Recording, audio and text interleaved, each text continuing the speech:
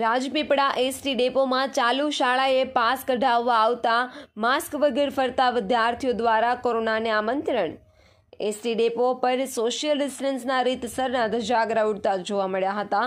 Mask વગર મુસાફરી કરતા અન્ય મુસાફરો પણ કોરોનાને આમંત્રણ આપી રહ્યા છે.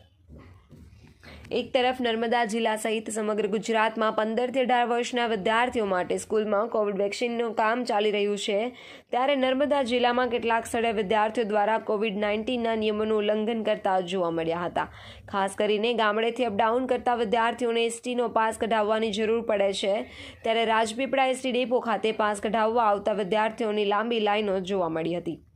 આશ્ચર્યની વાત તો એ છે કે આ વિદ્યાર્થીઓ ચાલુ શાળાએ પોતાનું શિક્ષણ બગાડીને પાસ કઢાવવા માટે એસટી ડેપો પર જોવા મળ્યા હતા.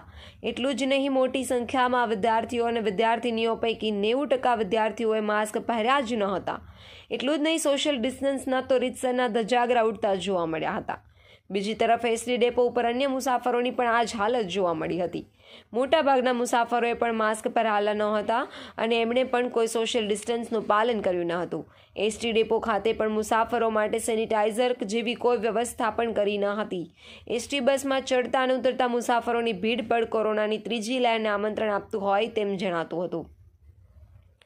રાજપીપળા ખાતે આરોગ્ય વિભાગ દ્વારા વિવિધ શાળાઓમાં વેક્સિનેશનનું કામ શરૂ થયું છે. ત્યારે એ મહત્વની રસી લેવાને બદલે વિદ્યાર્થીઓ ચાલુ શાળાએ પાસ કરાવવા તેમજ એસટી ડેપો ફરતા જોવા મળ્યા હતા.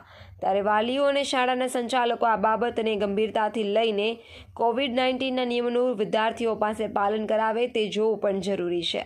શક્ય હોય તો વિદ્યાર્થીઓના ડોક્યુમેન્ટ સામટા લઈને એસટી ડેપો પર શાળાનો એક કર્મચારી પાસ કઢાવી લાવે તો અસંખ્ય વિદ્યાર્થીઓ કોરોના સંક્રમણથી બચી જાય અને ચાલુ શાળાએ પાસ કઢાવવા બહાર જતા વિદ્યાર્થીઓનું શિક્ષણ પણ ના બગડે.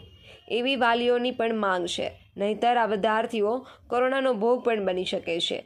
તેની સાથે જ શાળામાં અસંખ્ય વિદ્યાર્થીઓ, શિક્ષકો પણ કોરોનાનો ભોગ બની શકે છે. ત્યારે વિદ્યાર્થીઓને જાતે પણ કાળજી રાખવી જરૂરી જણાઈ રહી છે. રિપોર્ટર દીપક જગતાપ